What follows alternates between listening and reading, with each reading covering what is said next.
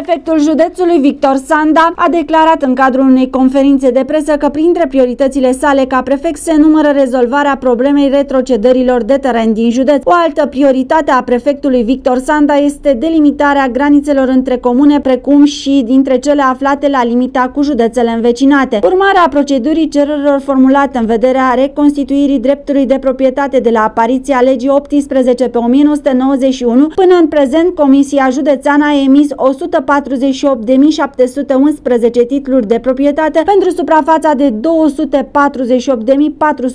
hectare. Comisia Județeană a emis 148.711 titluri de proprietate pentru o suprafață de 248.402 hectare.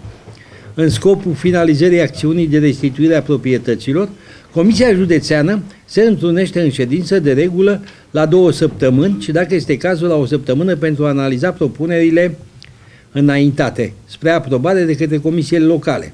În perioada iunie-octombrie s-au emis 1922 de titluri de proprietate pentru 608 hectare.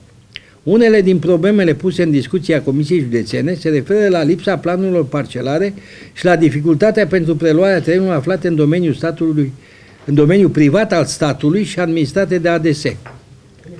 Începând cu luna ianuarie 2012, acțiunea privind retrocedarea proprietăților funciare a fost blocată la nivelul județului Dâmbovița, întrucât ADS a refuzat să predea terenurile către comisiile locale în vederea restituirii acestora către persoanele îndreptățite la reconcilierea dreptului de proprietate.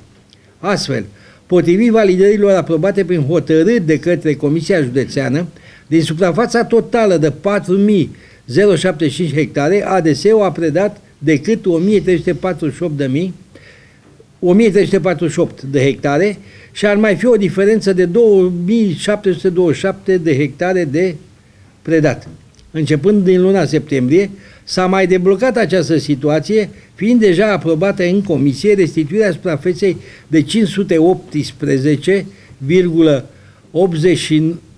518,89 hectare, fiind întocmite documentații care au fost sau urmează să fie înaintate ADS București în vederea încheierii protocolelor cu comisiile locale. În ceea ce privește activitatea prefecturii, prefectul a precizat că va trece la reorganizarea instituției pe care o conduce fiecare angajat având responsabilități concrete.